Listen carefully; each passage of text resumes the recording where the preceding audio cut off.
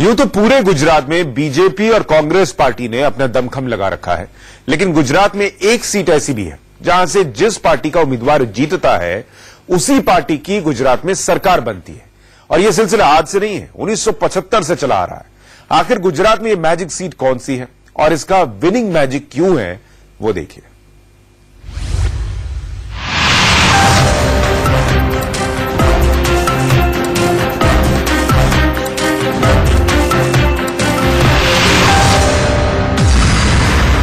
किससे सजेगा गुजरात का ताज।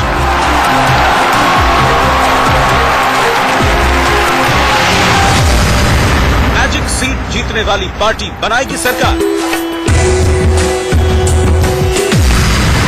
सरकार बनवाने वाली मैजिक सीट का चुनावी राज।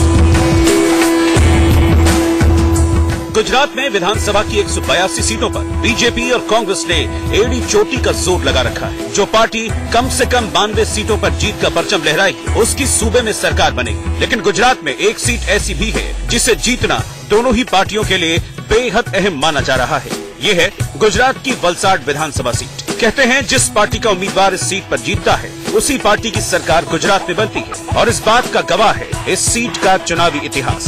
1975 से ये सिलसिला चला रहा है।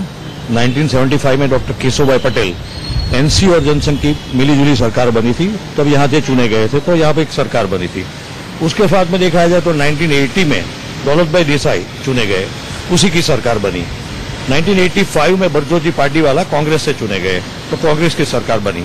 बाद में 1999, 90, 95, 98, 2002 एंड 2007 ये कंजिक्यूटिव दौलत देसाई यहाँ से बीजेपी से विधायक चुने गए थे तो बीजेपी की सरकार बनी। 2012 में यहाँ से भरत भाई पटेल बीजेपी से कैंडिडेट बने बीजेपी से जीते और गुजरात में बीजेपी की सरकार बनी। तो यूँ देखा जाए तो 275 से 2070 तक ये सिलसिला चला आ रहा है। बीते 40 साल के इतिहास को ध्यान में रखते हुए बीजेपी ने अपनी पहली लिस्ट में वलसाड सीट पर फिर से सिटिंग विधायक भरत भाई पटेल पर भरोसा जताया है। अभी सिक्स में मैं हूँ 2012 में। मैं बीजेपी का हूँ तो बीजेपी का सीएम बना है। वो सिलसिला चलता रहा है और ये चलता रहेगा 2017 में भी। बीजेपी ही जीतेगी, ये मेरा कॉन्फिडेंस है। कांग्रेस की ओर से अभी उम्मीदवार का ऐलान नहीं हुआ है, लेकिन वलसाड में पार्टी कार्यकर्ता जमकर प्रचार में जुटे हैं। खुद राहुल गांधी ने वलसाड में 2 नवंबर को चुनावी सभा की थी। राहुल गांधी जी का अभी दी- एक वीक पहले इधर आ गए ऑलरेडी इधर रोड शो रोड शो किया है, किसानों के साथ सम्मेलन किया है, माछीमारों के साथ संवाद किया है, उसमें बहुत ही अच्छा रिस्पांस मिला है, और राहुल गांधी जी भी सोच रहे हैं कि इस बार वलसाड में कांग्रेस की सरकार बनेगी। और गुजरात और गुजरात सर गुजरात में गांधीनगर में भी हमारी कांग्रेस की सरकार हंड्रेड एंड वन परसेंट बनेगी। वलसाड विधानसभा सीट का बीते 40 साल का इतिहास बीजेपी और कांग्रेस दोनों ही पार्टियों के सामने है। लिहाजा इस सीट पर जीत की जंग उतनी ही खास है, जितनी पूरे गुजरात, क्योंकि गांधीनगर की जीत का रास्ता वलसाड ही तय करता आया है। वलसाड से Rajesh Kumar, India news.